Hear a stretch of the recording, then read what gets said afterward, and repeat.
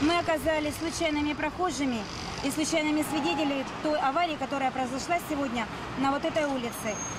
Э, Человек, который оказал помощь вместе с нами, имел автомобиль. Она вынесла птичку. Мы вместе с ней оказали помощь сотрудникам инкассации, но девушке по времени надо было куда-то ехать, и она уехала. Возможно, она это видела. Большая просьба, чтобы она откликнулась и позвонила 02 и сообщила то, что она знает, то, что она видела.